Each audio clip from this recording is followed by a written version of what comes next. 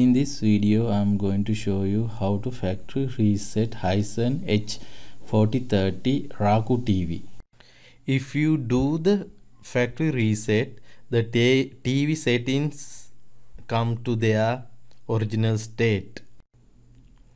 It will remove all the personal identifiable information from the TV. Before do that full factory reset I will recommend you to do the soft reset. This is the step of the factory reset.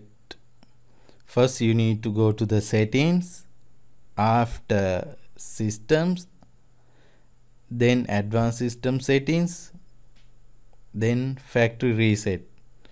After you need to highlight the factory reset everything. Then you can do the factory reset here. Thank you